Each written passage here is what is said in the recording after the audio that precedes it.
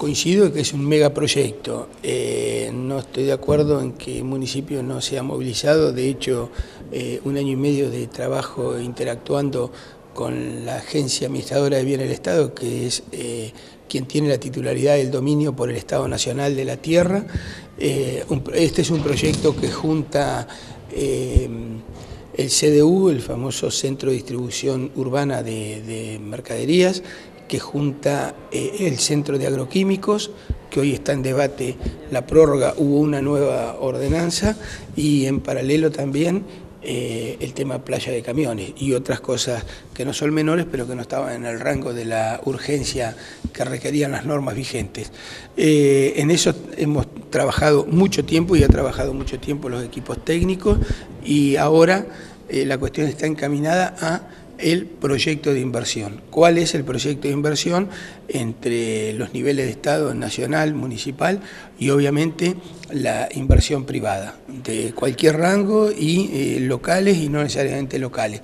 Eh, y no es solo una disposición nuestra, sino que es el, el titular del dominio de la tierra quien va a ejercer en parte ese tipo de de decisiones en torno al proyecto. Seguramente es un proyecto de una inversión muy alta. Seguro. interpreta que el momento es complejo como para encararlo.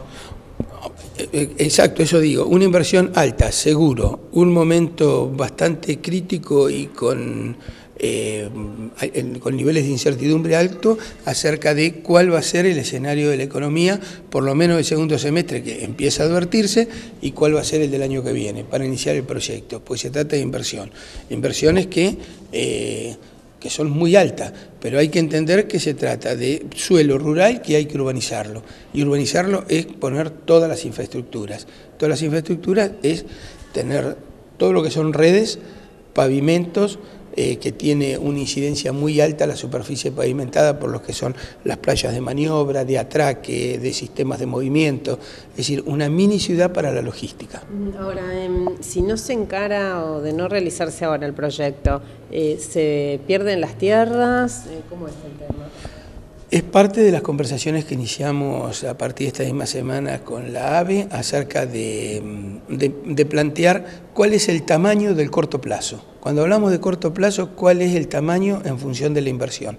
Es decir, qué, eh, qué tiempo va a llevar el, el, denominado corto plazo para el inicio de acciones en ese territorio. Porque de hecho el proyecto está presentado, está avalado por por la AVE, eh, también cumpliendo con normativas en el caso de los agroquímicos, de las normas CASAFE, es decir, eh, en términos de logística, con lo que son las normas nacionales e internacionales de logística que también tienen que ser tenidas en cuenta por las empresas que van a operar en el lugar, sean locales o no, y, empezamos el proyecto ahora de normativa urbanística para el área, que obviamente es un proyecto que deberá ponerse a consideración del Consejo Deliberante.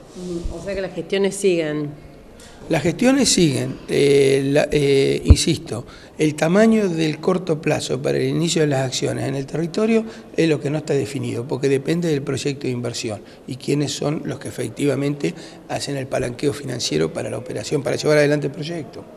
Es uno de los temas que lo lleva a Buenos Aires en los próximos días, tenemos entendido. Sí. Sí, uno de los temas que son reuniones que están pactadas para avanzar con este tema después de eh, prácticamente el trimestre que también fue eh, turbulento para, la situación económica financiera del país y obviamente nos puso en, este lugar de espera y ahora retomamos conversaciones. Ya con el, es decir, eh, el lugar de que nos paramos para, para esta reunión es el proyecto territorial y urbano terminado para hablar del proyecto de inversión.